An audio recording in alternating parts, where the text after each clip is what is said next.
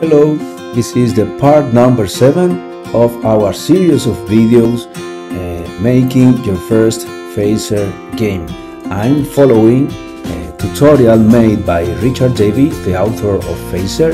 You can find this tutorial in the Phaser website, it is here in the screen and I'm following this tutorial for making the game but with Phaser Editor 2D. Phaser Editor 2D, we sometimes uh, you can do the things uh, slightly different. And this difference sometimes is an advantage I think. So I want to show you how to make it with the editor. So in this chapter uh, we are going to add the keyboard controls for moving for moving the chapter the, the character for moving the player with the cursor keys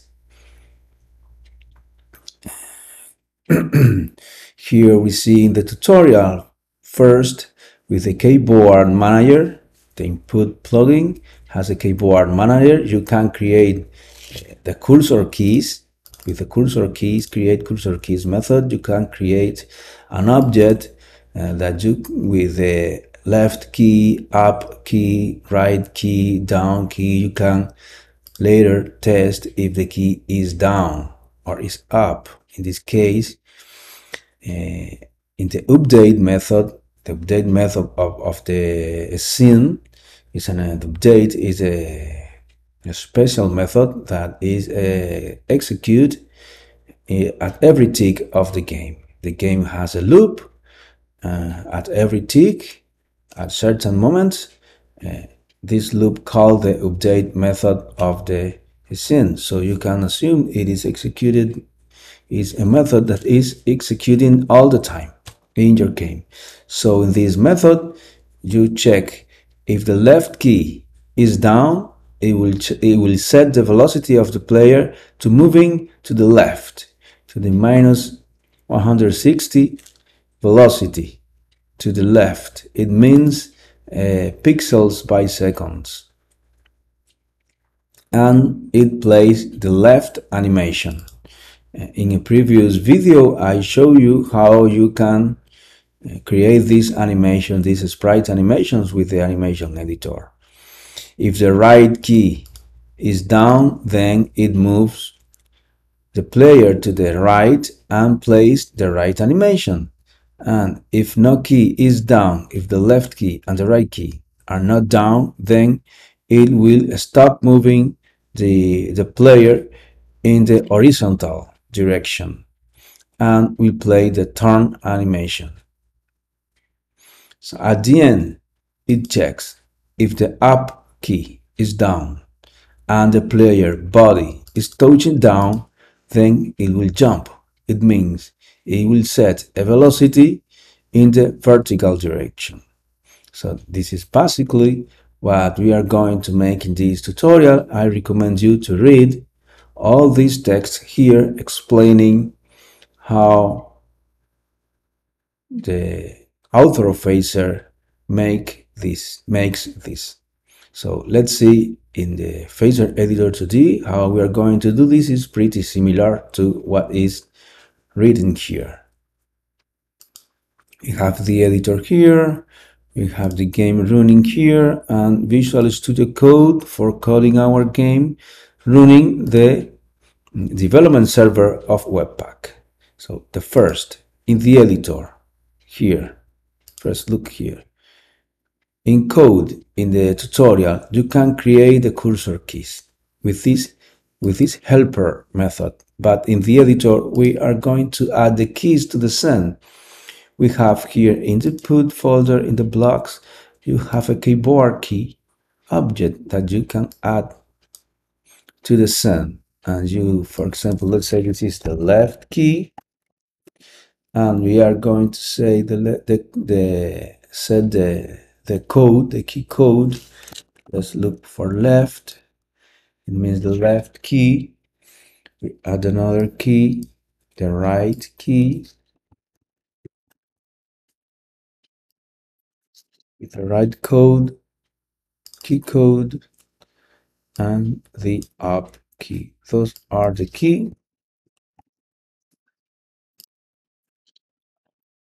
Look, you can select here any key code. This has a list of the key codes supported by Phaser. That's good for selecting the key code you want. This is the up code. Let's for the up. Good. So we have here in the input folder, we have all the keys I define. All this key by default is set with a scope to the class, so you can, it is declared, declared, defined here as a class fields. So we are going to write our update method and check. Same with it here. It's pretty similar. If the left is down if the left key is down okay the player we don't have the player here. Why? Because we have to set the player the scope of the player. I'm going to set the scope of the player. It would be class. It will generate a player field. Okay I will say if the player set velocity x.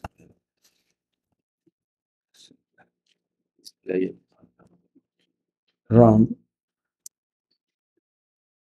Play the left animation I want to show you something here. Remember, we did the animations in the animations file. We have all the animations, the left, the turn, and the right. But if you have a lot of animations here, and they have uh, names, uh, long names, I recommend you to say the animations compiler to generate the code in this case, TypeScript ES module, that it is what we are going to use, and output, look what is going to happen. Here in the sense, I want to output the animations constants. This will compile the animations constants. Constants here, look, animation left will be left, animation turn. In this way, in this way, you can use here oh, sorry.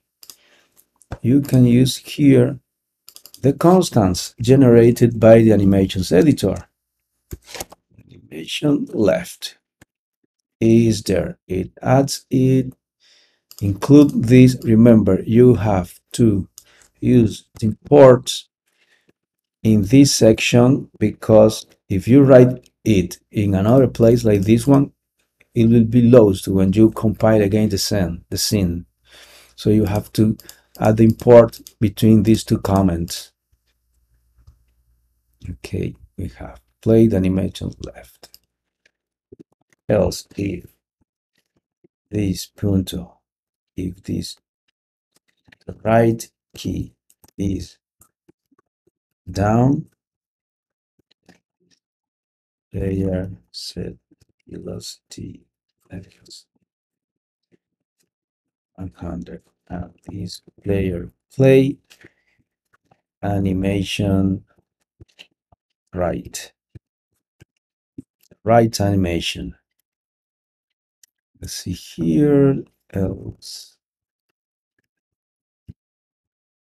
Is player. Hmm. To the left to the right. Start moving horizontally. Set velocity x zero and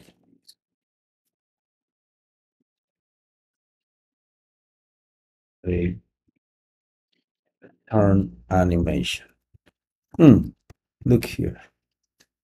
When you play an animation you have to set here that ignore if playing yes i want to ignore it if playing because maybe you are moving to the left and you are not going to start playing it again at every tick. So you will you want to ignore it when it is if the animation if it is running the left animation i do not want to run it again just ignore it mm -hmm ignore it. Good. So here, if is front up, if the up key is down and this player body is touching down, then I will say the player to set the vertical velocity I don't remember how much is it. Let me check. 330 minus to going up. Um, that's all. That's all. That's it. Let's test if this is right. Let me see. Okay, working. That's working. Look, here I'm pressing the up key. If it is in the air, if it is not touching down, it will not jump again. It only jumps when it is touching the platforms. So we have here our character movie. Finally, we have some action here in the game. I can stay one hour playing this because it's very easy. I think it's uh, that's it for now. Follow this channel, like this video, tell me something in the comments and keep in contact. See you.